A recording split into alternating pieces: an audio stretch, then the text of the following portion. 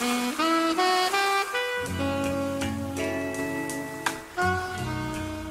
смородины головная боль – это накопление болезни и быстрая деградация.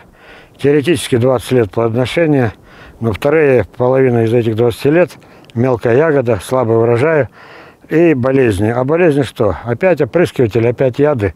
А что мы можем иметь? Ну, отральную ягоду. Значит, совет безжалостный, Жаль, что кусты молодые, но просто, ну, просто представьте умозрительно. С пятого года жизни молодого саженца вы берете, выбираете самую мощную, красивую, рясную, всю в цветах ветку и отрезаете. На шестой год из оставшихся самую мощную, красивую, рясную ветку и отрезаете. И так вы будете резать все 20 лет. И все 20 лет, а с этой веткой самый старший, значит, самый мощный. Ну, и видно на, на, глаз, на глаз, что она самая мощная. Вот. На ней и первая болезнь и цепляется. Отрезали, сожгли, отрезали, сожгли. Вечное омоложение, вечно крупная ягода, вечно максимальное количество не сахара. И э, постеп... Э, борьба с болезнью естественная. То есть болезни уходят с отрезанной веткой в костер.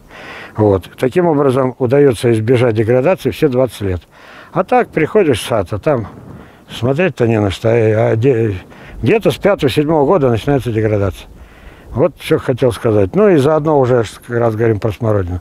Покупая смородину на рынке, вот. Ну подойдите вы к Федоренко, подойдите еще там, узнаете, может еще продают, но я не всех хорошо знаю. Но главное что? Смородине главное, как она выращена. Если семечко, дикарь. Если укоренением, культурное.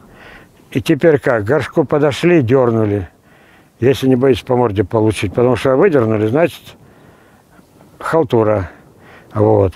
Вы можете что угодно увидеть.